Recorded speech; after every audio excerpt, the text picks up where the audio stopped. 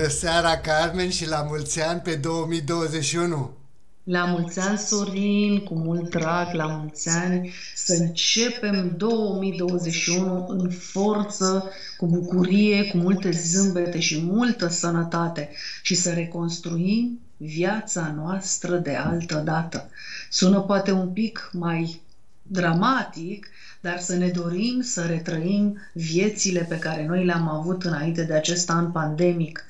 Și pentru că este anul 2021, vreau să prezint azi un, un, o mare doamnă, un mare suflet care mi-a dăruit pe care vieții lumină și speranță în cariera mea de terapeut, de psihoterapeut, și este vorba de doamna profesor Odet Dimitriu, care este doctor în psihologie și conferențiar universitar la Facultatea de Psihologie a Universității Titu Maiorescu și de asemenea este președintele a Asociației de Himnoterapie și Psihoterapie Cognitiv-Comportamentale a HPCC. A publicat um, numeroase articole interesante, uh, dânsa face grupuri de dezvoltare personală și de formare în cadrul asociației și de asemenea a publicat patru cărți. O să vorbim chiar despre două dintre aceste minunății pe care dânsa le-a, le scris uh, în următoarele minute cu ocazia acestui interviu minunat. Și pentru că am foarte multe emoții, Sorin, o să te rog pe tine să preiei un pic legătura și să mă ajuți. Uh, da, Carmen, o să preiau eu și o să încerc eu să, să depășim împreună momentul acesta emoțional pentru tine. Uh, eu sper ca anul 2021, exact cum ai spus și tu la început, să, să devină ceea ce a fost înainte de pandemie, dar eu sunt realist pe partea cealaltă și o să spun că lucrurile vor degiversa cel puțin până în luna septembrie a anului acesta. De-abia spre sfârșitul acestui an, probabil o să începem să ne reluăm viețile în mod normal. Dar eu zic să dăm drumul uh, la interviu cu doamna profesor doctor Odet Dimitriu și revenim uh, la final cu câteva gânduri. Mare drag!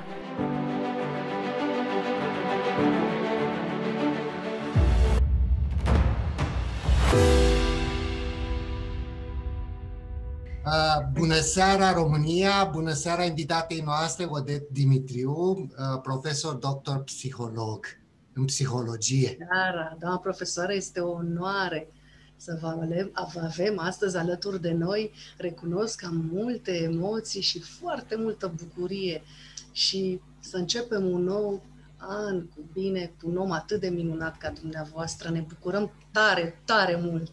Vă mulțumim din suflet. Uh, și pentru mine e o mare bucurie să fiu împreună cu voi și, și eu la fel îmi doresc să uh, se finalizeze anul cât mai repede și să avem parte de un an cât mai bun.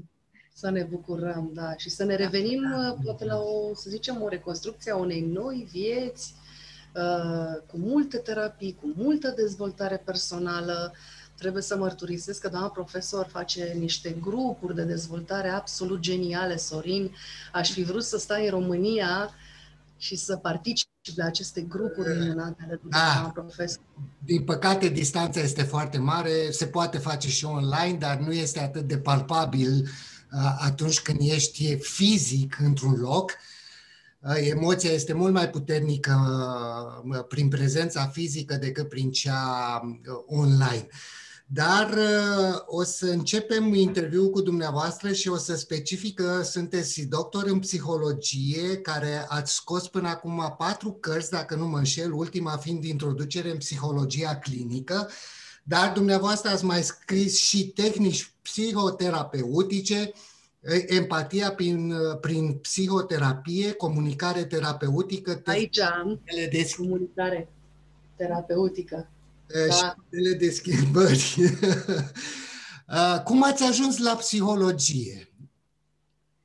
Cum am ajuns să fac facultatea de psihologie? Da. Cum... A, e o întreagă poveste. Eu aș zice că e o poveste foarte așa autent, autentică și uh, românească cu totul, în sensul că inițial am făcut uh, uh, în anii 85, când am intrat la facultate, am făcut uh, facultate de filozofie pe vremea uh, dictaturii lui Ceaușescu, uh, datorită faptului că a fost toată acea problemă la nivel național cu meditația transcendentală, cu interzicerea psihologilor în societatea românească, practic singura găselniță, ca să spun așa, singura posibilitate de a uh, face o facultate de psihologie în anii 85, aceasta era să ne înscriem la facultate de filozofie. Exista în anii 85 o facultate de filozofie-istorie cu o specializare în psihologie, unii dintre noi în sociologie ne specializam, alții în pedagogie. În anii 89, când a venit Revoluția, practic, secția noastră de psihologie din cadrul acestei facultăți de filozofie despre care vorbesc a devenit o facultate de sine stătătoare. Și din 25 de absolvenți de filozofie, atâți uh, colegi aveam la facultatea mea, din 25, trei dintre noi ne-am specializat în psihologie, așa că în 91 am fost prima generație de psihologi de după Revoluție. Am înțeles, interesant, da. Uh, interesant aspect uh, social, da. să zic așa. Da.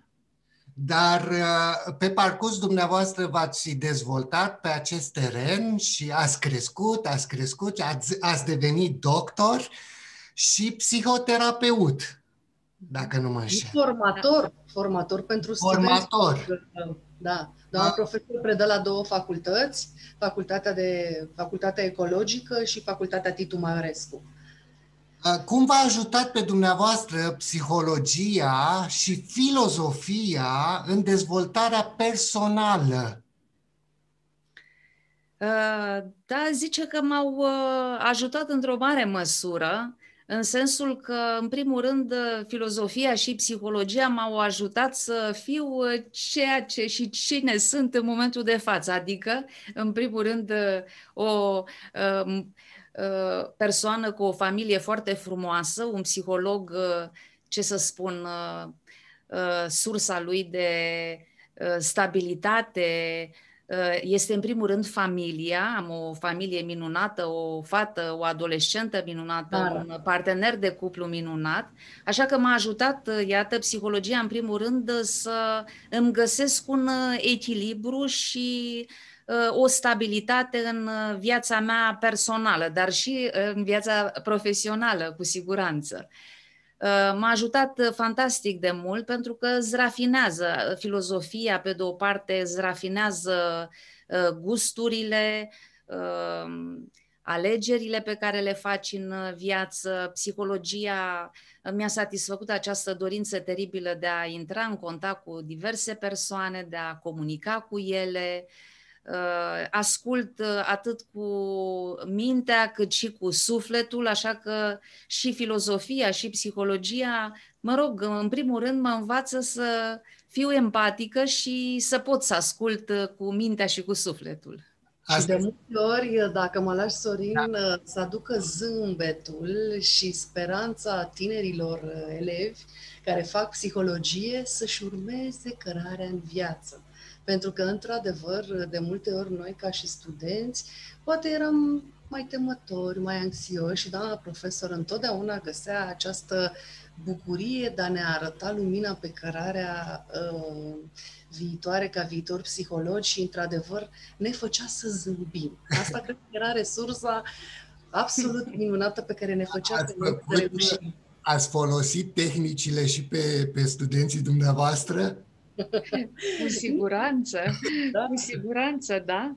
Uh, și îți mulțumesc, Carmen, că uh, invoci zâmbetul meu. De multe ori, dacă ar fi să o luăm așa mai uh, psihanalitic, ar putea să fie o strategie de coping foarte bună, o strategie așa de a face față diverselor situații mai stresante în viață, un zâmbet așa larg și luminos, poate de multe ori mă rog, e o modalitate de a uh, prezenta într-o anumită lumină lucrurile, de a masca poate ceva, poate eu știu, vrei să mastiezi o supărare sau o îngrijorare și afișezi acest zâmbet senin și luminos. Adevărat, dar terapiile respective uh, ajută de fapt să treacă oamenii peste problemele pe care le au personale, iar acest zâmbet mascat al multora Uh, pentru un psiholog, cred că este o sursă puternică de a, de a intra adânc în mentalul oamenilor și a descoperi unde există hiba, buba. Mhm.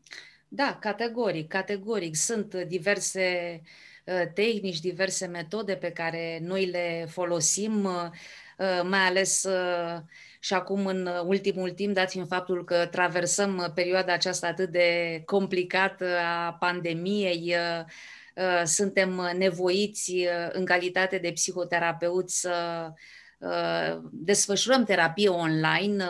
Aici, oarecum, lucrurile se schimbă. E o diferență destul de mare între o terapie, între a face terapie online și a face o terapie clasică, tradițională, face-to-face.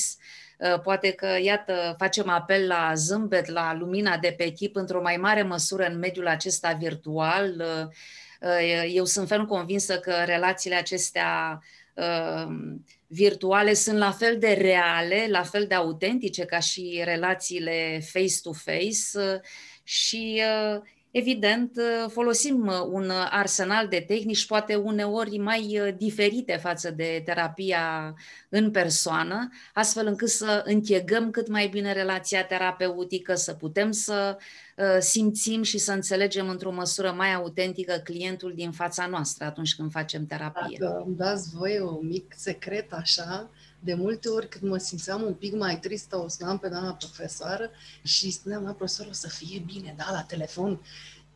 Da, suntem puternice, reușim și atunci a mie îmi venea din nou o forță așa de, de lucru și de, de energie, deci vă mulțumesc pe această cale uh, pentru uh. totdeauna pentru găsirea speranței, da. Și mine, doamna doctor... Atunci când ai nevoie de această lumină, de această speranță. Se vede și... pe chipul dânsei această speranță și lumină. Mulțumim, mulțumim. Uh, dar vreau să intrăm un pic mai adânc în, uh, în problemele actuale și uh, ce am observat eu ca un om care nu cunoaște acest domeniu și care este din afara lui.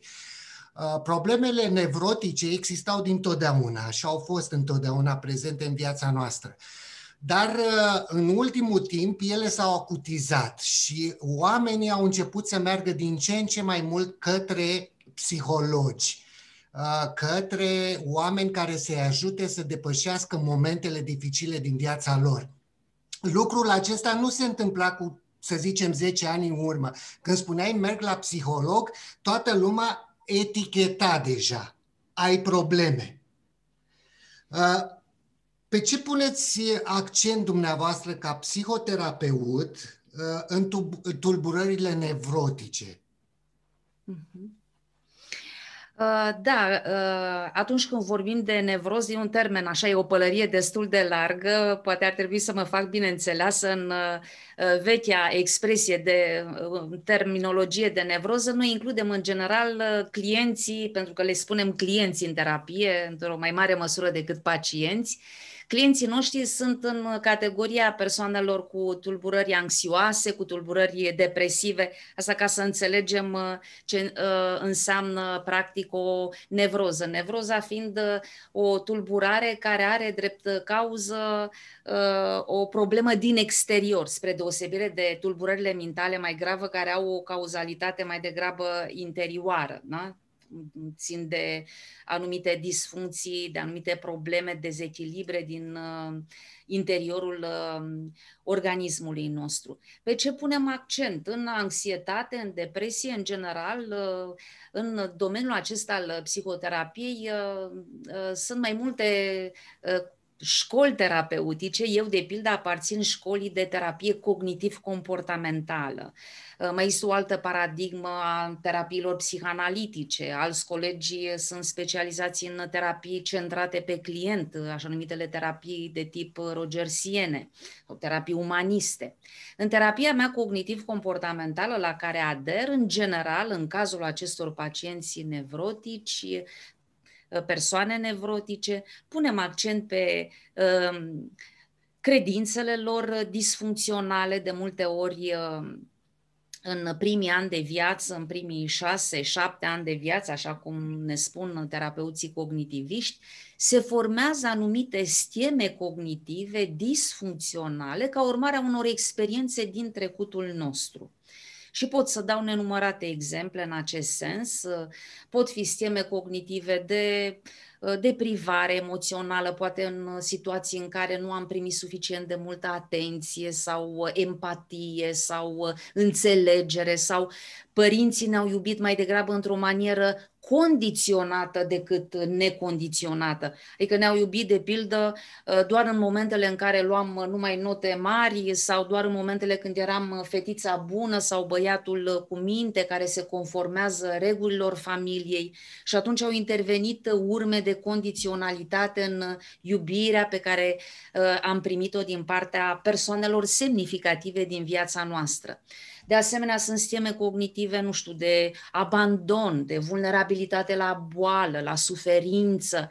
Ei bine, în terapiile pe care noi le practicăm, încercăm să scoatem în evidență asemenea scheme cognitive disfuncționale care s-au structurat undeva în trecutul nostru și care, odată ce devenim adulți, ele sunt reactivate uh, ca urmare a unui eveniment recent, uite, de pildă, Uh, o, un eșec, un insucces, actuala pandemie, care evident reprezintă un factor de stres teribil uh, pentru uh, noi. Uh, un asemenea eveniment declanșator poate să vină să reactiveze acele steme cognitive, acele uh, gânduri uh, și sau idei iraționale pe care noi le-am, ni le-am format în perioada copilăriei timpurii.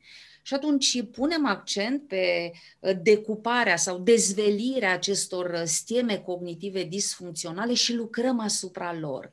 Încercăm să le modificăm, uh, jucăm rol ca terapeut de părinte bun de data aceasta, din instanța de părinte bun, încercăm, spunem noi, să reparentăm clientul, să-i oferim acea Uh, înțelegere de care poate n-a avut parte în uh, perioade importante din viața lui, să-i oferim acea empatie, uh, poate acea afecțiune venită evident în cadrul terapeutic sub forma unei neutralități binevoitoare, dar care să îl ajute pe clientul nostru să integreze, să înțeleagă într-o mai mare măsură situațiile dificile de viață, prin care au trecut. Pentru că nevroticii, cum spuneați, în general sunt uh, persoane care pot avea la un moment dat un ego mai slab, mai fragil, care pot avea o anumită vulnerabilitate psihică, care pot percepe situații din viață pe care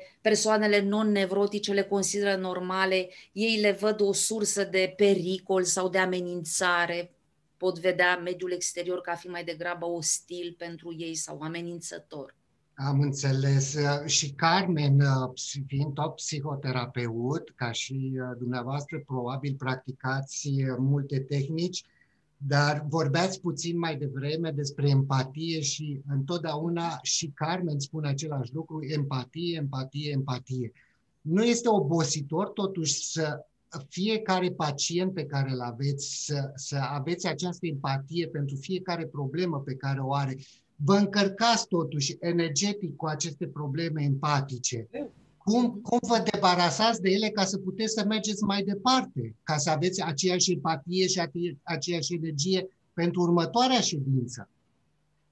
Da, aici sunt un pic mai nuanțate lucrurile. Uh, noi nu devenim uh, și nu suntem uh, în, în procesul terapeutic Uh, noi nu suntem așa, cum să zic, uh, niște agenții uh, continui care să perpetui, să, care să ofere această empatie nemărginită. Și fac o nuanțare și spun că noi, de pildă, în practica noastră terapeutică, împărțim clienții în două mari categorii. Sunt clienți, să spunem, de tip ceapă, care suferă și sunt acei nevrotici de care vorbeam mai devreme, Uh, și uh, în cazul lor, într-adevăr, este necesar, uh, este necesar acest efort empatic dirijat pe care îl facem și este o altă categorie de clienți, așa numiți clienți de tip usturoi, care suferă, evident, și ei, dar care îi fac pe ceilalți să sufere într-o foarte mare măsură. Deci mă refer de pildă la clienți care au probleme de adicții sau clienți cu diverse tulburări de personalitate. E bine, în cea de-a doua categorie a clienților extrapunitivi sau clienți care îi fac în primul rând pe ceilalți să sufere, aici nu prea mai suntem empatici. Aici uh, îi frustrăm în mod deliberat, de pildă unei persoane cu o problemă de adicție, de alcool, de tutun, de diverse substanțe, uh, uh, îi propunem abstinență și atunci evident că noi nu mai suntem empatici cu ei, pentru că punctul de intrare într-o terapie în cazul lor este abstinența cu A mare și în niciun caz empatia.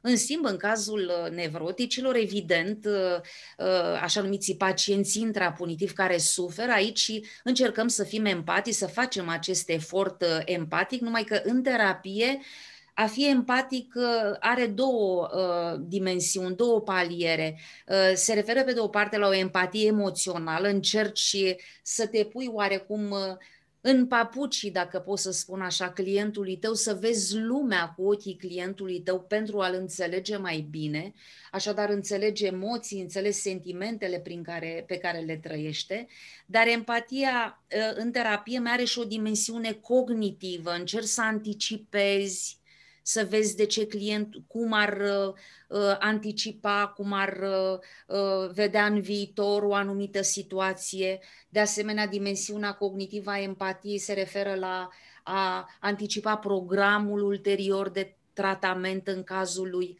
Ca să răspund la întrebare, evident, noi ca terapeuți și Carmen știe foarte bine, avem diverse metode de a, ne, de a preveni acest burnout care ar putea să apară în cazul nostru ca psihoterapeuți.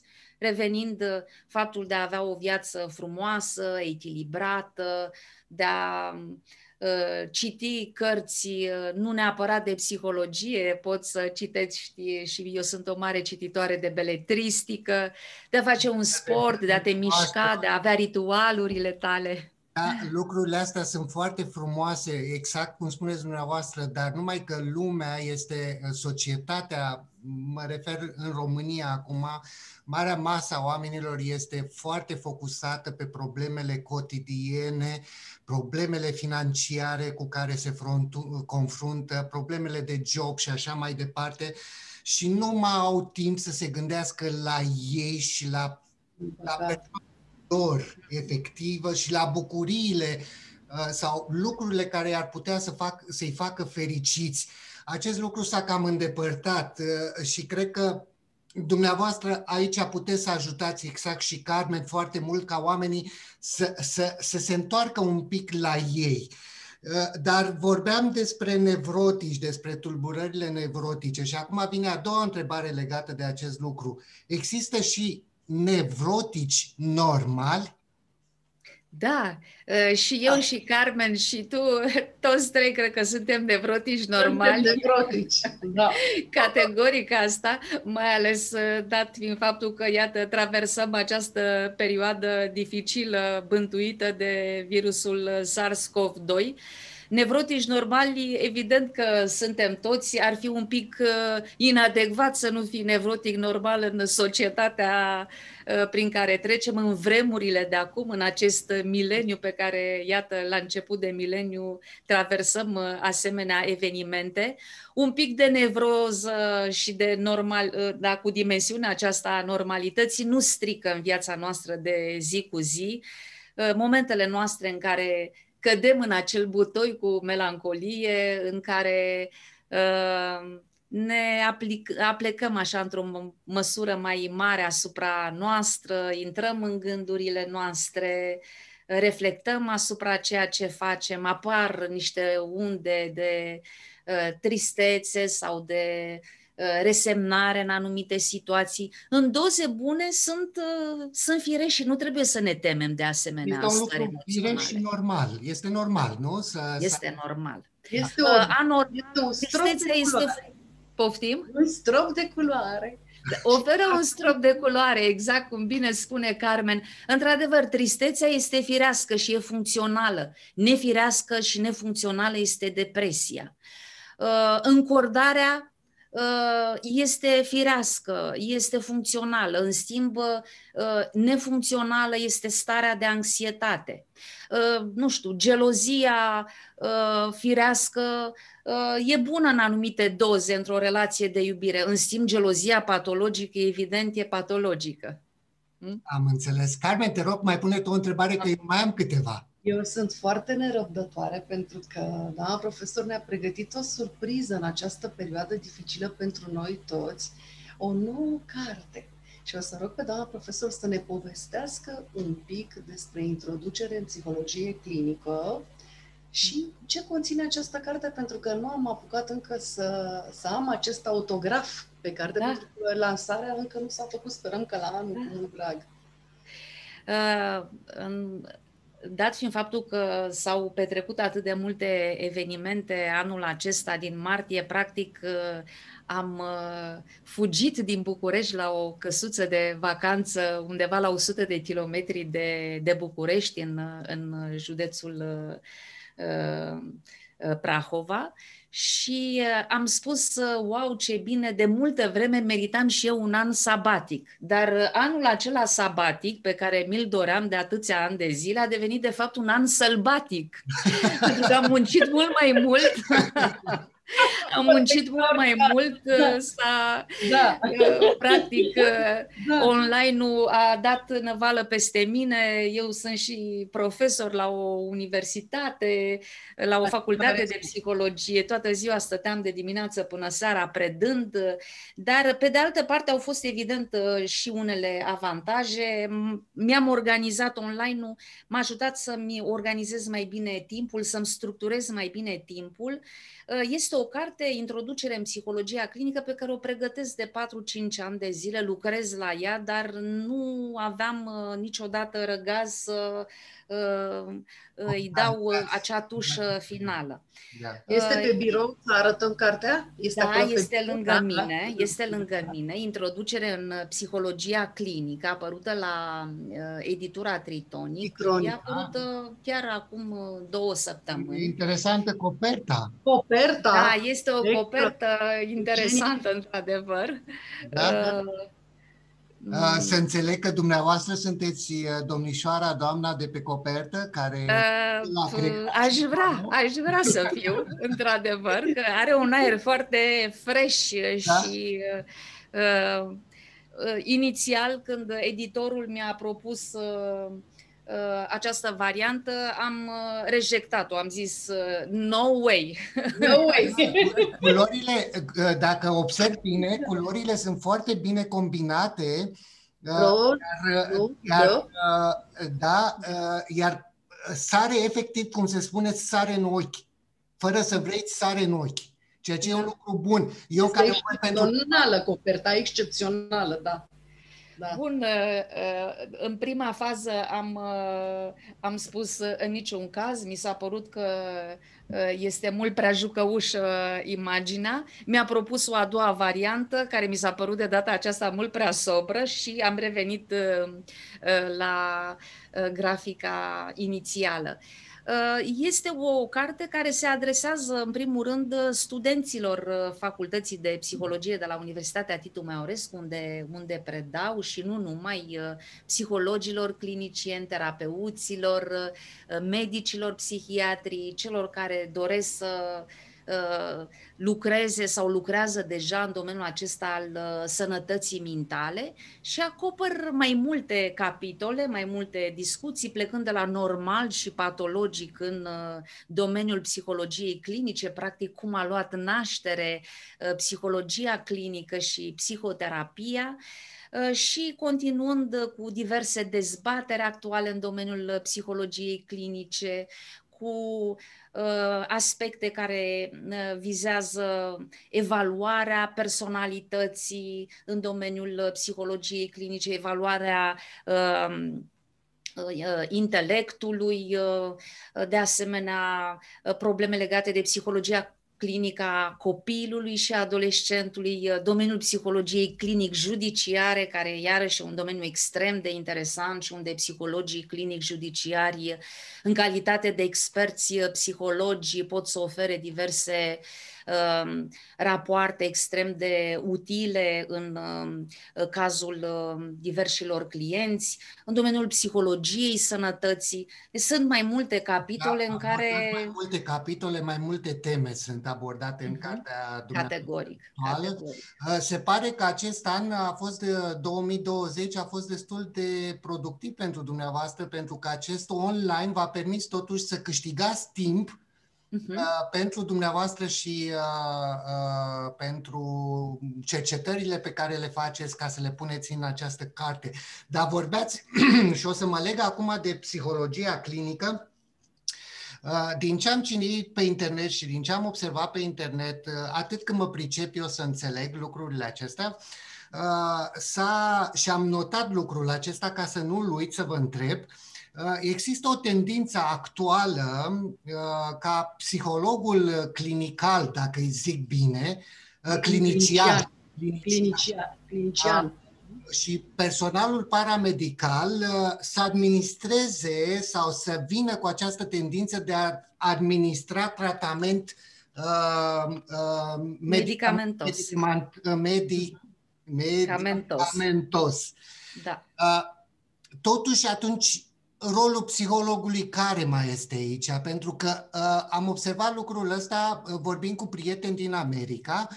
Uh, în Europa a început să apară deja în Franța, Belgia, Olanda, țările acestea un pic mai evoluate, Germania chiar uh, uh, cu, cu, acest, uh, cu acest lucru. Este normal? Îl găsiți normal? Da, aici, într-adevăr, e o dezbatere extrem de interesantă. De fiecare dată când o supun uh, discuției cu uh, studenților mei dacă psihologul clinician sau psihoterapeutul să prescrie uh, tratament medicamentos sau nu, ei se situează așa pe o poziție categorică și spun în niciun caz. Noi știm că în unele state din, de pe continentul nord-american și s-a extins extins, iată, și în țări uh, europene, există această tendință ca uh, psihologul clinician, uh, psihoterapeutul să aibă și el la rândul său această posibilitate de a prescrie tratament medicamentos. Cred că această tendință a apărut ca urmare a faptului că uh, eforturile, iată, uh, specialiștilor uh, să, și medicilor psihiatri, pentru că la noi în România uh, tratamentul medicamentos este apanajul medicului uh, psihiatru. Așa a fost dintotdeauna și uh, el este cel care stabilește diagnosticul psihiatric și propune schema de tratament. Acum uh, sunt dezbateri îndelungate, încep să fie dezbateri și în universitățile din uh, România în legătură cu acest aspect. Uh, din punctul meu de vedere, nu suntem suficient de bine pregătiți în acest domeniu ca psiholog clinician sau ca psihoterapeut să Uh, propui uh, o, uh, un tratament medicamentos și vă spun și de ce, pentru că, din păcate, în aura noastră curriculară nu sunt incluse cursuri de psihofarmacologie. De pildă, eu când eram studentă la psihologie, în anii 90-91, profesorul meu de psihiatrie care profesorul George Ionescu ne-a predat niște cursuri de psihofarmacologie. Puține, dar au fost uh, foarte binevenite. Ei bine, studenții noștri, studențile din universitățile din România, nu au incluse la Facultatea de Psihologie asemenea cursuri. Asta ar presupune ca, probabil în cadrul cursurilor masterale sau cursurilor doctorale, să fie introduse asemenea uh, cursuri în care, uh, evident, există numeroase interacțiuni medicamentoase. Un psiholog clinician trebuie să aibă această cunoaștere aprofundată, astfel încât să poată să uh, prescrie și el la rândul său tratamentul medicamentos. Evident că mai este și un alt dezavantaj și vă spun și care este. Dacă un psihoterapeut ar avea această posibilitate de a alege între tratament medicamentos și psihoterapie, tentația foarte mare va fi să meargă spre tratament medicamentos, pentru că psihoterapia este un proces îndelungat. Exact. Este mai rapid. Uh, anevoios și atunci uh, prefer o cale mult mai scurtă, prefer un shortcut care pe de altă parte, mai există și un alt dezavantaj major. Forța noastră ca terapeuți, ca psihoterapeuți, în primul rând, este cuvântul, cuvântul bun al terapeutului. Ori dacă intervii cu uh, pilula, devi, intervii cu antidepresivul, cu anxioliticul, e ca și când ți-ar știrbi din forța ta de, de psihoterapeut. De acord cu dumneavoastră, Carmen, dacă cu permisiunea ta, pentru că am această ocazie, Vreau da, să abordez da. două teme, două teme, pentru că mai avem foarte puțin timp, vreo șase minute, deci o să încercăm să fim scurți. Aș vrea să vorbim despre cyberbullying-ul care a apărut datorită acestei situații pandemice, da? pentru că transferul acesta în online al cursurilor și al tuturor lucrurilor ăsta au transformat bullying-ul practic în cyberbullying. Uh-huh. Cum poate fi prevenit sau cum pot ajuta profesorii sau cei care uh, lucrează cu copiii să nu se mai lovească de acest lucru, ca acești copii să nu aibă probleme ulterior? Da, ă, e o problemă destul de, de complicată, e o problemă asupra căreia noi ca specialiști în domeniul acesta al sănătății mentale, evident că va trebui să intervenim prin intermediul unor programe terapeutice. Uh, și uh, să instruim pe de o parte pe uh, părinții acestor copii, ajutându-i să își organizeze, să le propună copiilor lor un program mult mai coerent, mai bine structurat de a-și petrece timpul, de a-și ordona timpul, pentru că e un aspect important, iată, petrecerea Uh, timpului uh, uh, și orelor la nesfârșit în fața monitorului, în fața calculatorului și atunci te adresezi pe de o parte ca și speciali, ca specialist părinților acestor copii, pe de altă parte lor, copiilor, adolescenților. Este un fenomen extrem de uh, actual, din păcate, acest cyberbullying și uh, cred că printr-o comunicare onestă, clară, deschisă cu uh, copilul, cu adolescentul în care să îl învățăm să uh, dișarnă mai bine între uh, uh, o informație uh, de bună calitate și o informație pe care e clar că uh, e bine să o rejecteze, să o îndepărteze, practic prin uh, psihoeducație. Altfel nu văd cum uh, am putea să intervenim în acest cadru al cyberbullying-ului. Am înțeles. Și ultima din partea mea, după care o las pe Carmen să pună ultima întrebare, Carmen. N-am uitat. N-am uitat. Da. Uh, despre, aș fi vrut să abordez mai mult această temă, dar din păcate nu mai avem decât foarte puțin. Uh, Eu aș fi vrut, dar te-am lăsat pe tine, Sorin, să ai plăcerea, dar să știi că și în timpul facultății și la grupul de dezvoltare eram geloasă pe ceilalți. Asta să știți. Mulțumesc! Toți îmi pe doamna profesor și eu o iubeam și toată lumea, da, ce doamna profesoară? Țineți minte? La Carmen, da. Da, așa era. Eu sunt în prima, eu sunt în primul contact, în prima, prima încercare și atunci profit de această ocazie, deci aș vrut să vorbim despre uh, himnot, uh, himnote, uh, himnoterapeuții uh, și himnoterapie. Dacă ați folosit acest lucru în terapiile dumneavoastră și uh, întrebarea ar fi fost dacă hipnoza ajută cumva uh, să, uh, la schimbare, ca această schimbare să vină din interior sau vină din, din exterior. Uh-huh. Uh, da, acum practic uh, răspund uh, și mai bine la prima întrebare pe care mi-ați adresat-o legată de alegerea pe care am făcut-o cu psihologia. Hipnoza a fost marea mea dragoste, ca să spun așa, prima mea iubire, pentru că în liceu am avut un profesor care practica așa o hipnoză mai de stradă, aș putea spune acum, Uh, și care mi-a deschis și mi-a trezit acest apetit pentru himnoză, pentru terapie prin himnoză. Uh, eu uh, utilizez himnoza de aproximativ, iată, sunt aproape 30 de ani de când lucrez în domeniul acesta al terapiei și al psihologiei clinice.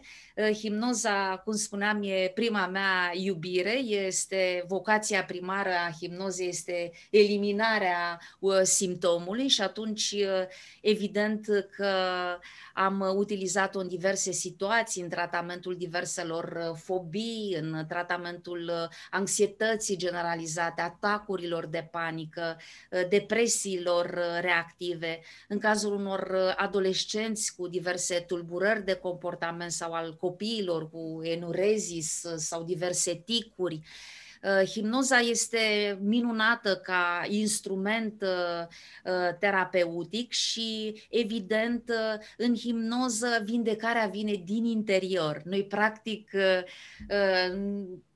suntem cei care îl ajutăm pe clientul nostru să-și actualizeze resursele latente Uh, autocurative, de auto-însănătoșire, care de fapt există în fiecare dintre noi.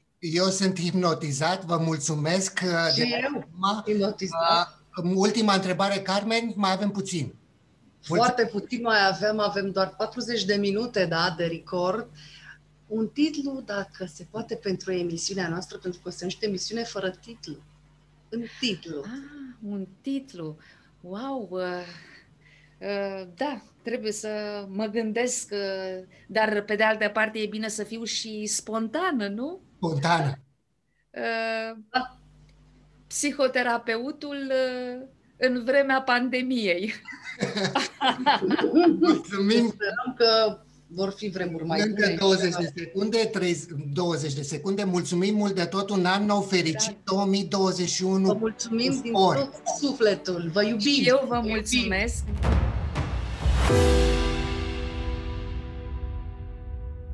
Uh, da, Carmen. Interesant. Ai depășit Foarte emoțiile?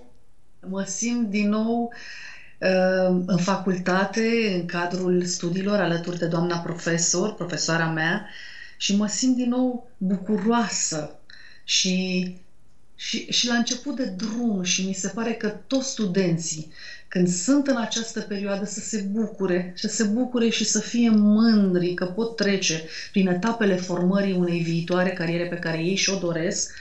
Și ce să spun, am din nou emoția copilului de altă dată care era uh, uh, pe, pe băncile școlii și uh, parcă uneori grăbit să termine facultatea care era plină de bucurie și de surprize și să înceapă lucrul propriu-zis. Să-mi aduce o mare bucurie și lucrul ca terapeut și pentru mine este o mare, o mare, o mare bucurie și o mare menire pe care cred că am avut-o în viață, dar pot să spun bucurați-vă de anii studenții din plin, dragi studenți. Da, da, Carmen, să se bucure, dar deocamdată anul 2020 a fost cum a fost, totul a fost pe online, sistem online, deci bucuria nu mai este la fel de mare. 2021 probabil că se va desfășura cel puțin uh, uh, anul uh, universitar până la sfârșitul lui iulie probabil va fi la fel online.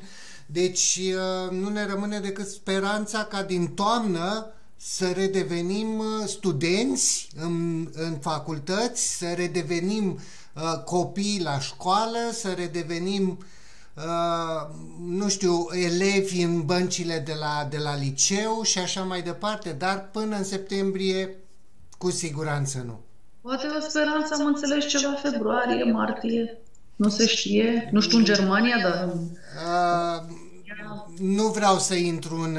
în ar fi bine că nu știm cu siguranță niciunii dintre noi, uh, nici din punctul de vedere al Germaniei, nici din punctul de vedere al României, așa că cred că mai bine lăsăm lucrurile să curgă și doar ne rămâne speranța că o să ne reîntoarcem la o viață vie, tonică alături de profesorii noștri pe care iubim și respectăm. Eu sper ca telespectatorii noștri să fi uh, luat notițe uh, cu, uh, de la doamna profesor doctor uh, Odet Dimitriu pentru că am vorbit despre foarte multe lucruri interesante chiar și pentru această perioadă pandemică. Uh, Uh, probabil că um, mulți um, îți vor scrie ție să te întrebe ce se întâmplă cu nevrozele și uh, ce soluții avem pentru anxietăți. Uh, eu sper să rămânem în contact cu telespectatorii noștri și să ne vedem săptămâna viitoare la o nouă ediție optimistă, cu zâmbetul din nou pe buze, Uh, și să avem un an nou cât mai plin de energie și de reușite personale. Cu drag.